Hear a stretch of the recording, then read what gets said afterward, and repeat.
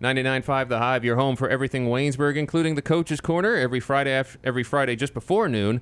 I am Bobby Fox, flying solo today because, unfortunately, due to some technical problems, uh, RJ Lacey, my graduate assistant, able to take the day off. Uh, we won't have any video of this one. Also, won't have it archived for social media. So, if uh, anyone would like to tune in, and uh, maybe they haven't gotten the message, but you know they would, certainly contact them.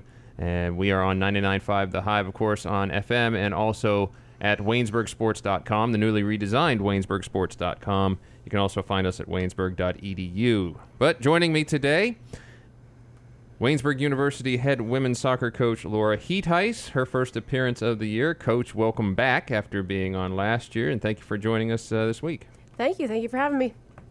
It's been an outstanding start uh, for the women's soccer team. They come into Saturday's game at Baldwin Wallace. Got to be a big one. We're going to talk about that a little more, but they come in 4 1 and 2. Uh, the only loss to Muskingum back on September 12th. They've come off a couple of ties in double overtime, but against two quality non conference opponents in Mount Aloysius and Pitt Greensburg. This is a team in the Yellow Jackets of Waynesburg. You have not given up more than two goals in a game. Now, a little teaser for myself and for tomorrow's football game, if anyone's going to make it, we will ha- we will be featuring the Waynesburg University women's soccer team in the program and how they've gotten off to this solid start. But a little preview of that, Coach. Defense has been strong, and then backed up, of course, by junior keeper Courtney Seifert. Just your thoughts on how the team has been performing so far and how this defense has been performing. Yeah, defensively as a whole, we've been solid. Uh, I think we've taken all the teams that have come to us and uh, played against us, they've had some really fast girls in the back. Um, Meg Brisky, a freshman for us, has been able to match that pace as, long, uh, as well as Mackenzie Schaefer, so they bring that. Um, and then in the back, we've had Leah, we've had Jess Silba a little bit, Gina Benur a little bit, outside backs, and they're able to get up in the attack a little bit. That helps us too. Um, but solid in the back for sure. Courtney Seifert has been doing really well. Um, strong, strong in, uh, inner saves, coming up big on uh, breakaways, just with her instincts. Um, so we've been doing a great job with team defense, um, and I'm hoping that continues going through. Now, talking about Courtney Seifert, um, unfortunately, this is her last year. Uh, she is graduating early and had always planned to do so. I'm assuming she made that clear to you early on, not from yep. just in this year. Yep. It's got to be tough, especially early on. Um, you were searching for answers at goal in your career here, and then Courtney comes in obviously she needs to do what's best for her um, and graduate early and move on to the next step in her life. But is it disappointing to you at all that she's going to be taking that path? And you would hope, obviously, to have her for a fourth year. Yeah, I mean, I'd love to keep her for a fourth year, um, selfishly, but I know that it's going to help her future, and I know that she has worked really hard in the classroom to be able to get done in three years. So um, I've known for quite a while, and I've supported her from day one on that. So of course, we're going to miss uh, miss her and hate to see her go so early when she does have time left. But um, completely understand on uh, on her end and where she sits, and um, so we've been able to proactively work um, with our coaching staff as well as bringing in other keepers that are going to help us next year without her. So um, she's definitely left big shoes to fill. Um, not only she's a great goalkeeper, but she's a great teammate, a great person. Um, she's a very very strong individual, not only in the net but in life, and I'm hoping that the girls uh, you know, when she does end up graduating, they can take some of those lessons and attributes that she brings and put them into life here too. Now, of course, you get her for three years. The one that's got a little short, more of the short end of the stick is new softball coach Brett Shimmick. She will be actually graduating. Is, will she technically be graduating a year and a half early? Is that how that works out? She will finish up this the rest of this year, so she will go through this. Oh, she is going through the I semester. Believe so, okay, because yep. I thought somewhere I heard she wasn't going to play softball. Maybe that's just something for her major or something yeah, like that. But she's also be. the starting center fielder yep. for the softball team, which talks about her athletic ability. Yep.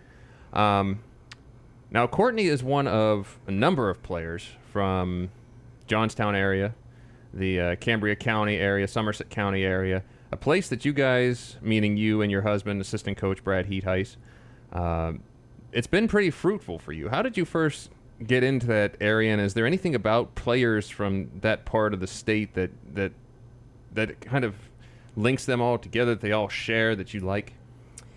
Um, I would say overall they're quality people. Um, that's what kind of drew us to that area to start. Um, you know, I think I want to say Tegan Jenner might have been one of the one of the first ones that we were talking to from that area, and kind of building those relationships. We built relationships among um, her mutual friends and uh, different teams in the area because we were obviously pretty new to the area, didn't know much about soccer in that uh, that part of Pennsylvania yet. So, um, able to be pinpointed in directions of uh, what schools are good to look at, where we should keep an eye on, um, what girls are are doing really well in, in, high school and could take that next step into the college level. So um, we were able to look at Richland and Bedford and um, obviously Somerset and kind of find that pocket of girls that are not only good soccer players but good people and obviously match up with their major here.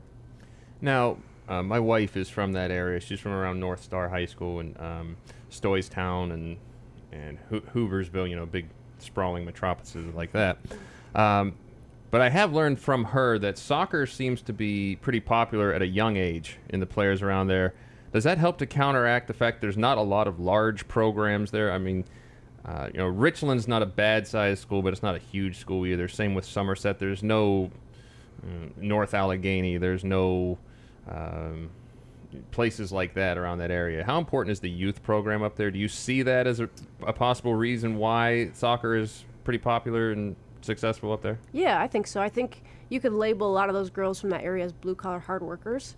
Um, so they've grown up at the youth level playing and playing every minute. Um, so that's a, a, big thing for us too. Is they've played so much in high school and in clubs. They're traveling for club and being able to play um, and just play pickup. I think that's a, a, huge thing that we don't see enough of these days. But I think that girls in that area really kind of um, gel together because of soccer and athletics. Um, so you can see that there's girls that are willing to try things differently or understand the game differently.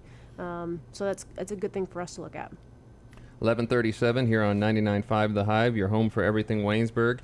Um, now, the scoring for Waynesburg has not been terrible by any stretch, um, even though coming off a 0 0 uh, double overtime tie. Are you comfortable with the fact that your team is not putting up three and four goals at a regular pace as long as the defense is playing solid? Is that a is that a style you like to play, or do you think there's more potential in this offense that maybe the goals are going to start to come? Even though, and to be fair, you are playing good non-conference competition as well. Yeah, I think. Uh defensively, we are very solid, but we do need to grow in the attack. Um, and that's not just from forwards, that's midfielders, that's our outside backs that get up into the attack as well. Um, I think plain and simple, we're not shooting enough. Uh, we got to get get to the point where we're not waiting for that perfect opportunity. And we got to take our half chances when we get them.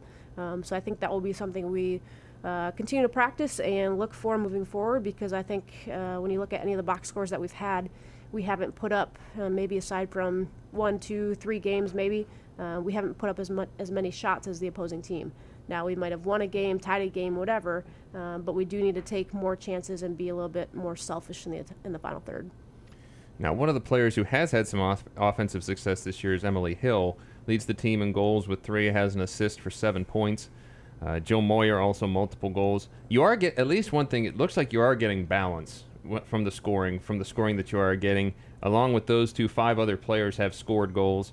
Um, again, is that something that you like to see? Is there is some balance? There are a lot of players getting touches, things like that. Yeah, absolutely. Because you know, a girl like Emily Hill, who uh, is a threat in the attack for us, other teams are going to know about that. So if they're paying extra attention to Emily, then somebody else is going to be open, and that opportunity will open up. So um, everybody's got to be ready and willing to take the chance when they get it. Um, just so happens that M Hill and, and Jill have been connecting on their opportunities so far, but there has been other girls that have been in the mix and getting those shots. Uh, now we just got to have that confidence to you know put that ball in frame and just hit it like we mean it. Now, combination of that very solid defense and the scoring that you have gotten has resulted in this 4-1 and 2 record. And before even drawing this tie with Pitt Greensburg, again a solid non-conference opponent who actually beat the only team that defeated you. They beat Muskingum three 0 um, You got in the regional rankings. Um, as far as I know, first time in a while. I can't say for sure last time it happened, but from the United Soccer Coaches, putting you 10th in the Great Lakes region. Your thoughts on that, and how has the team reacted to that news? Um, to be honest, I'm not sure if everybody on the team knows about it. It's not something that we talk about. Um, is it awesome for the program and for Waynesburg? Absolutely. Um, the girls have worked hard and they're they're earning it, but it's not something that we can rest upon. Um, so we don't focus on anything like that. We just let things come our way that come our way, but we got to make sure that we're working hard because we are playing good teams, and we got one more game tomorrow against Baldwin Wallace. That's non-conference that we got to do some work in, and then come next Saturday on the 29th, we start our first uh, home PAC opener. So we got to be ready for that. Guess I got to do a better job of getting the news out then, if not even the team knows that much about it. um, let's talk about the PAC coming up. You start with St. Vincent at home, and then you go on the road against another uh, regionally ranked team, correct, in Westminster, who I believe is ninth. So Yep. Should be a good, certainly a good road test early in the PAC schedule on October 3rd. I want to ask you your opinion on this because a lot of coaches don't put much weight into this, and I'm going to talk about the game against Mount Aloysius. You go in, you get a 2-2 tie. Uh, very tough team in the Mounties. They were 6 0 coming into that game. I believe their previous four games were against PAC opponents, and they beat them all. Yep. Um, as a coach, I know you probably don't take much stock in that. Has there been any talk through the players the fact that this is a team that is consistently, and I think they shut out all but one of them, except maybe Bethany. Is that was that any sort of a confidence boost for the players or anyone like that to know that they played a two-two tie with a team that just rolled through four PAC opponents? I think it might be, and I think it should be to a certain extent. Um, but we can't take any of those PAC teams lightly when we come up to play them. Um, but I think it did give us an idea of the talent level that they were at. Um, there's only so much film you can get from other teams to be able to watch prior to the games. Um, so I was able to watch a little bit of Mount um, prior to going to that game to get a little bit of a scouting report. They're a team that has three good pacey girls up top, but if you can slow them down and not let them turn or run at you, uh, then we're going to have a chance to play. Um, so I think that's one thing that we do really well is we'll settle the ball and we'll play an attractive style of soccer. Um, it's not a kick and run game for us. Um, sometimes it's harder to build up the, the play and be able to create those opportunities, uh, but we're going to stick firm on who we are, who we are as a program and um, the style of play that we want to play, and just make sure that we're demanding that. If we can and we can control that, then uh, you know I think there's there's big things to come in the PAC. We just got to stay ready and hungry. Now, before we get to PAC play, which I do want to do because that will be coming up next Saturday here at John F. Wiley Stadium, doubleheader against St. Vincent. Let's talk about Baldwin Wallace a little bit. The the yellow battle of the Yellow Jackets tomorrow, one o'clock, starting with your women's team. Tell us about Baldwin Wallace. What do they do? What makes them dangerous? Any players to watch for? People can follow along on WaynesburgSports.com. Can you give us a brief scouting report on Baldwin Wallace? Uh, I've watched a little bit of film on them uh, so far. They've played a lot of quality opponents um, and have had some really good results. So they're going to be a really good side. They're going to be tough. Uh, I expect them to be really physical, and I expect them to be quick. Um, they're pretty good on the ball. They're technical. Um, with that being said, they do get strung out a little bit as far as um, you, know, you know the lines of the back line, the midfield, and the forwards. So if we're able to kind of keep the field big when we have it, but keep the field small when we don't, and defend together, we're going to have moments and opportunities. We just got to take them. Um, but I do expect them to come out, and I think it should be you know the toughest opponent that we've seen yet. So just trying to wrap my head around this a little bit myself. Is this more of a quality versus quantity approach you think you're going to have to deal with when it comes to offense? When you get the opportunity, you got to make the most out of it because there's not going to be that many. Correct. Yep. Okay. Um, Baldwin Wallace coming out of the OAC. Um, again, you got to focus on your opponents. This is going to be your second OAC opponent with Muskingum. The OAC is known as a pretty solid conference in a lot of sports. Would you say the same is for women's soccer? Yeah, absolutely. Um, I would say many conferences in Ohio are, are pretty elite and pretty good. Um, it's just the, the style of play is a little bit different. Um, they really bring the physical side of the game. Let me ask you this too, and I've asked several coaches about this.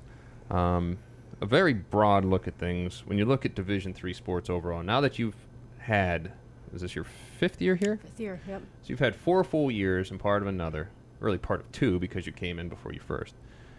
Division three is kind of an interesting animal because obviously there's no scholarships. So, talking with several of our coaches, um, they agree with me in geographically where you're located can have a big impact. Pennsylvania Division three schools are a little bit behind the eight ball because there's so many scholarship programs in Pennsylvania. Not just Division One with Pitt, Penn State, Temple, schools like that, but also when you look at division a strong Division Two presence, mainly because of the PSAC. is it harder? Is it easy? Let me put it this way: Is it harder to recruit Division three in Pennsylvania as opposed to say Ohio? Because there is a decent amount of scholarship presence in Ohio, but not as much as in Pennsylvania. Is, is that something that you're aware of, or, and does that force you to be a little more creative, or do you really not see that big of a difference? I think for for us, we don't see as as big of a difference as maybe other sports do. Um, primarily, we look for girls from Pennsylvania. We haven't gone into Ohio too much um, on the girls' side because we get a lot of interest from PA, from Virginia, New York, Maryland, and I would say that's kind of where we stick to.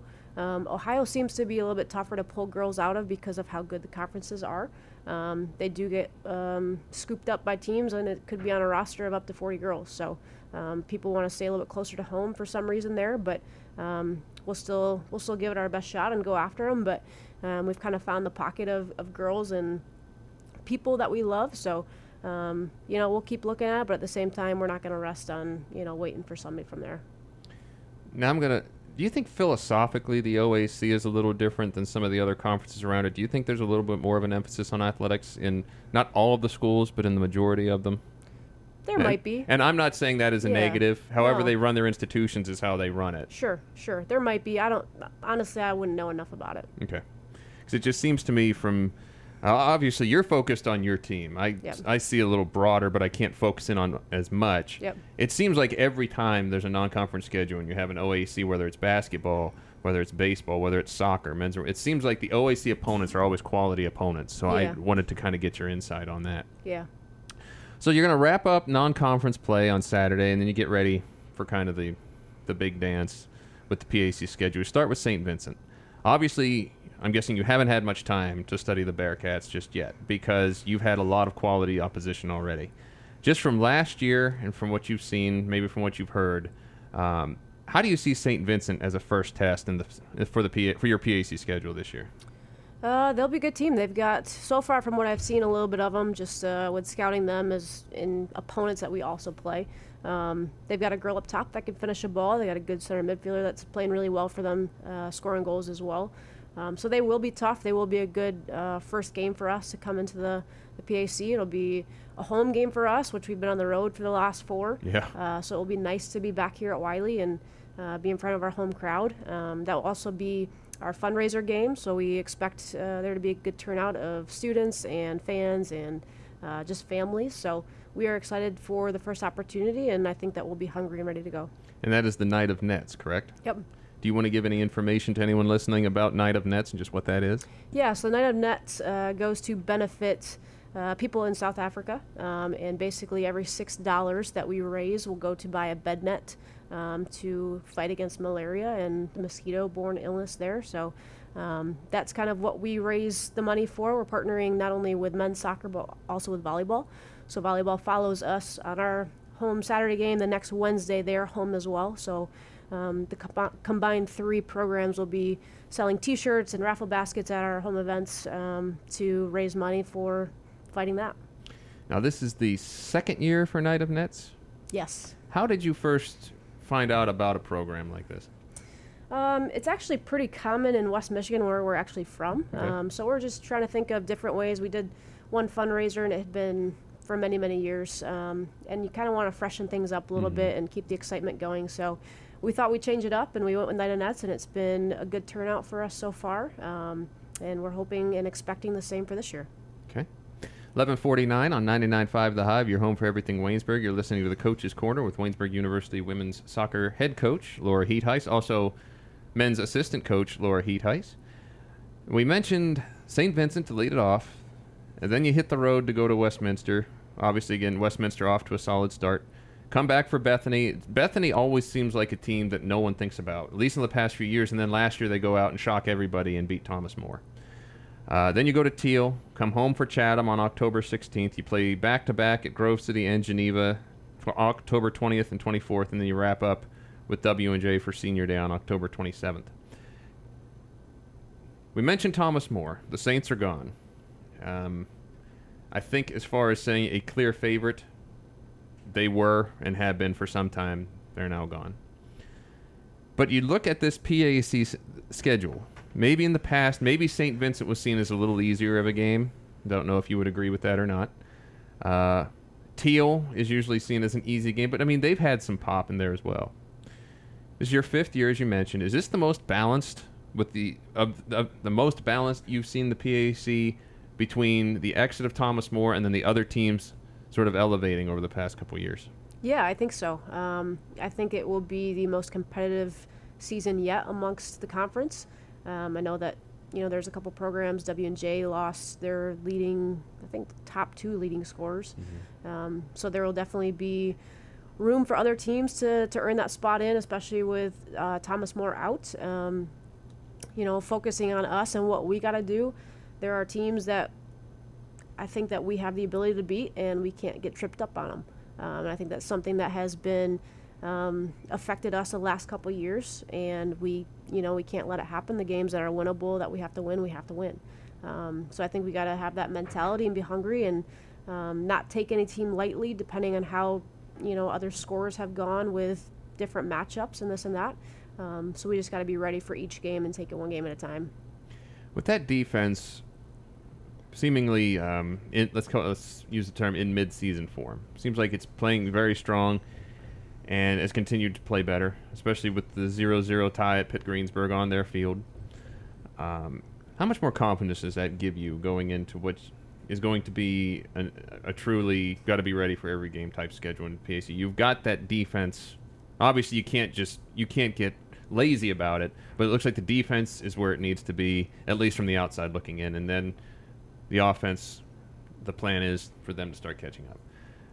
How gr- how good does it have you? How good does it let you and Brad and the rest of the staff feel knowing that all right, the defense is ready. Let's get the offense up to it.